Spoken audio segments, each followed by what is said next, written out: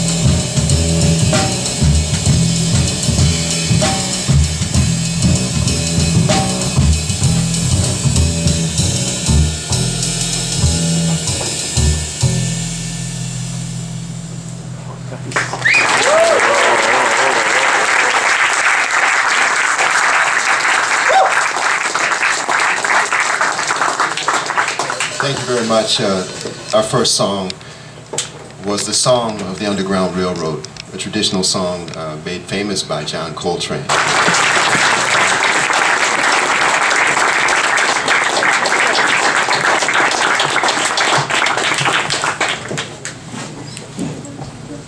the next song we're going to do is by uh, a, a, close friend uh, who I lost about three years ago now, Kenny Cox. He's one of the great uh, Detroit piano players and composers.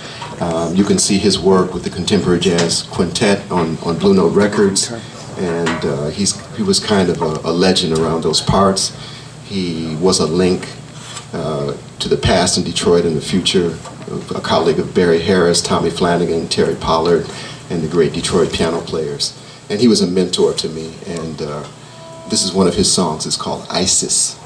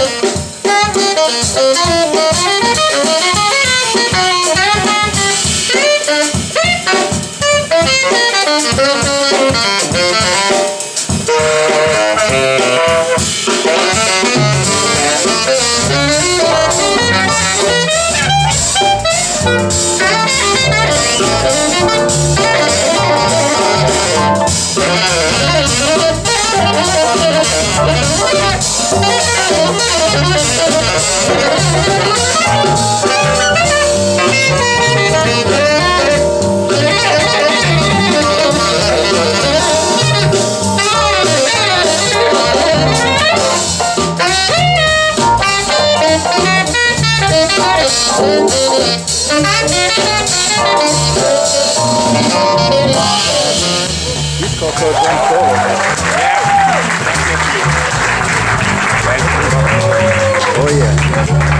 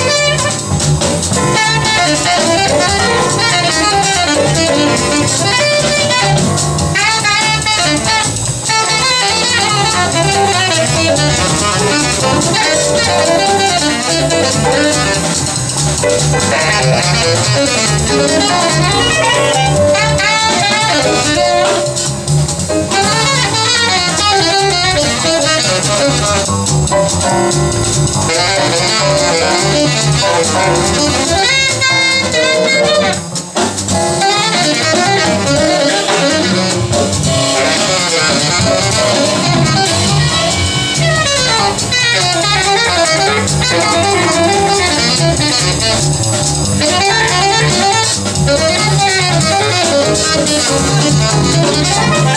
you.